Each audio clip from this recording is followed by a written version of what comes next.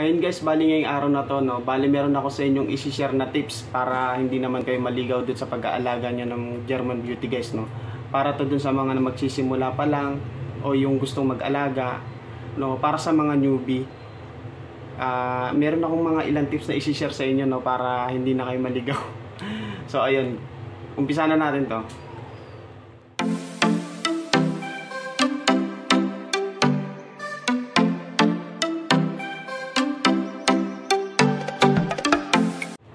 So ayun, bali ang unang tips na i-share ko sa inyo guys no, yung pagiging loop blind. So ah yung loop blind guys, ah, explain ko lang no. Ito yung mga masyadong ah, ina-idolize nila yung isang breeder no. Hindi so sa sobrang pagka-idolize nila sa isang breeder na yun o sa loop na yun no, ma, kumbaga lahat ah, ini- iniisip niya na akala niya lahat ng ibon na galing doon o breed noon or banded no is maganda. So 'di ba nakakalimutan na natin na meron tayong sinusunod na standard. So kapag ka titingin kayo ng ibon guys, ah wag niyo tingnan kung sino banded or pwede naman 'yon. Tingnan niyo no kung sinong nag-breed. Pero hindi dapat dun natatapos no. Kumbaga dapat meron kang sinusunod na um, kumbaga su- sinusunod natin yung standard ng German Beauty guys no. Kasi sa alam niyo ba guys no, pag sa mga show Ah, kung mapapansin niyo yung mga banded ng German Beauty natin guys, ta- tinatakpan nila yan ng tape. So, siguro para hindi maging bias, pero 'di ba? Isa na rin yun sa ah, kumbaga, may isip natin na hindi natin dapat tingnan yung kung kanino banded o sino nag-breed ng German Beauty guys kasi kung bakit ko ito nasabi kasi simula nung ginawa ko tong ah, YouTube YouTube channel natin guys no, yung mga nagsishare ako about sa German Beauty marami na sa akin nag-PPM sa FB ko na nagpapakita ng German Beauty nila. Tapos sasabihin ba nila kung, ah, bro, maganda ba tong GBH ko? Banded to ni ganito. Ah, bro, okay lang ba?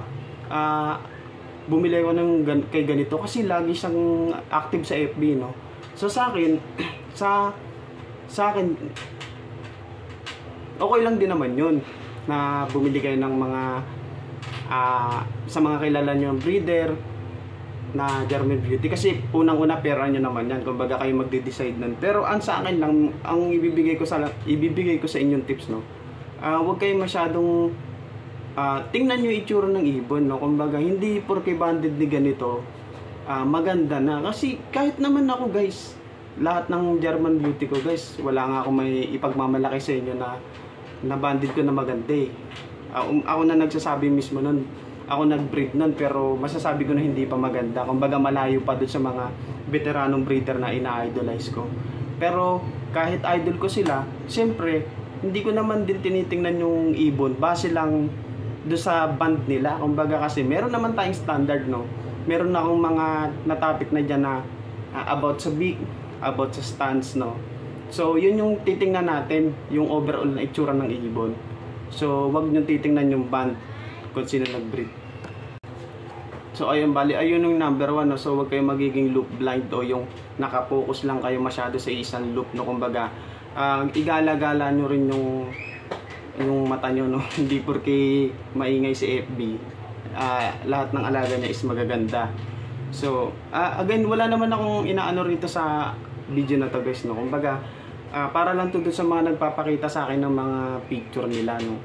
Pagka kasi magpapakita kayo ng picture, huwag niyo sabihin sa akin kung kanino banded dyan. Kasi, di ba katulad nga nung sinabi ko, huwag kayo magiging loop blind kasi hindi naman lahat ng banded ni ganito eh maganda.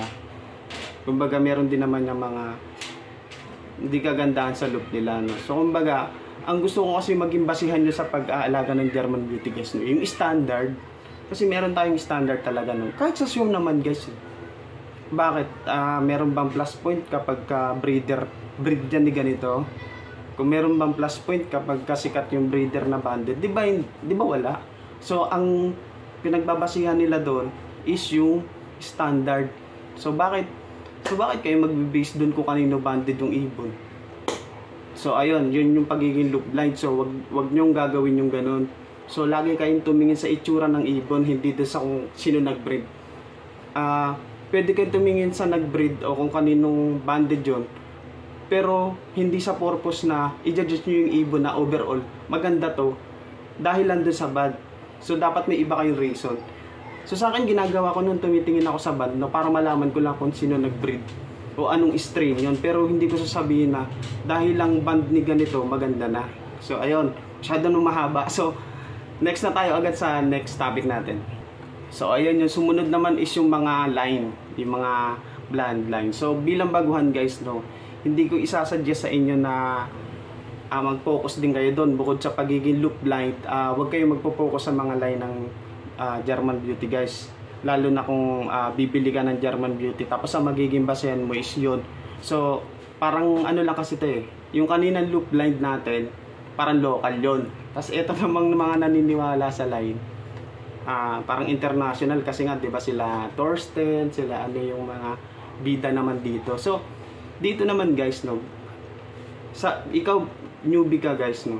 Sa mga newbie pala, uh, wag na wag kayong magbibili ng ibon dahil lang sa sinabing Torsten or ano. Well, kanya-kanya naman ng paniniwala yan. Pero ito kasi tips na to, i-share ko sa inyo to kasi dito na ako sumablay So, kumbaga, uh, 'di ba sabi ko nga sa channel ko na 'to, magsi-share ako sa inyo ng mga uh, diskarte ko tsaka yung mga maling desisyon na ginawa ko. So, ito isa to sa mga i-share ko sa inyo na hindi niyo na dapat to ulitin. No, hindi niyo na dapat to uh, magaya pa kasi nga sablay nga yung ganitong discard. Pero ewan ko lang din naman sa iba baka naman sa kanila tama to. No?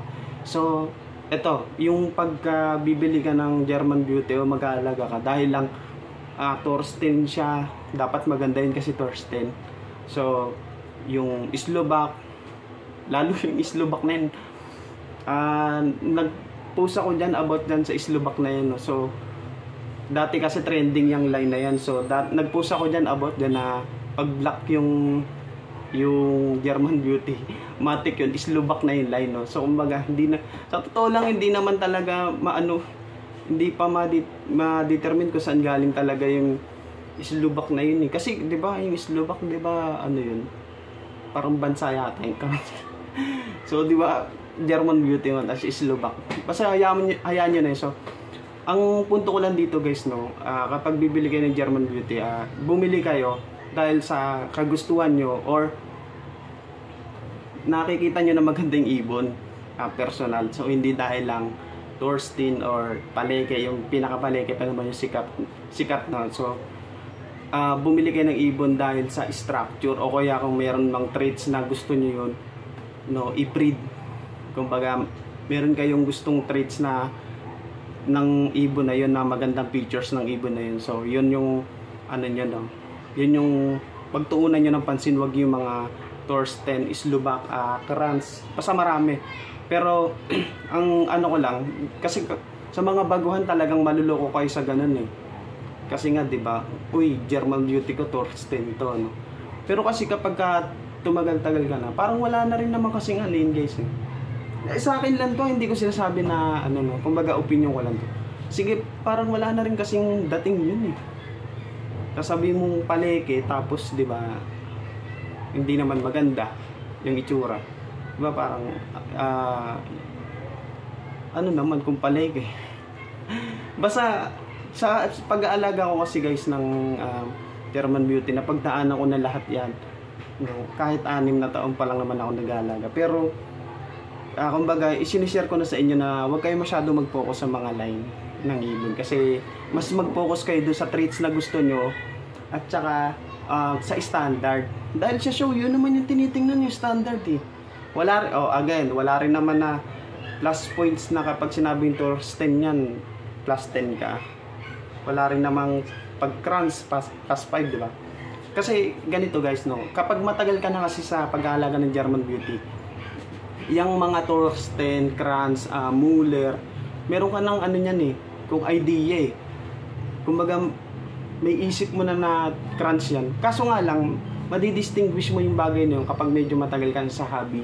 Kaya bilang bilang baguhan, uh, wag ka muna mag-focus doon. Mag-focus ka muna sa pinaka-standard ng ibon.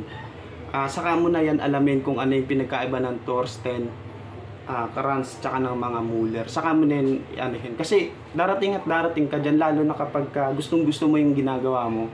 Kumbaga mapapag-aralan mo yan ng uh, madali lang. Kumbaga nang hindi hindi mabigat sa loob mo kasi gusto mo yung ginagawa mo. So ayun. So ayun yung mga tips na gusto kong i-share sa inyo na wag na wag nyong gagawing basihan yung pagiging loop blind nyo o yung maniniwala kayo sa mga line ng ibon kahit wala tayong basihan. So, so katulad sa FB group no, makita ka dyan ng palengke. Palengke tapos 1.5 yung price or 'di ba? 'Di ba parang ginagamit na lang nila. So doon magtaka na kayo guys. Ta- tapos yung number one naman yung local ano natin yung pagiging loop line no. So okay lang naman na bumasi kayo doon sa kung sino yung breed pero hindi hindi dapat ma-justify nun yung itsura ng ibon natin guys no. So ayun lang sana may natutunan kayo sa isang maikling GBH talk na to no. So ayun lang maraming maraming salamat guys no.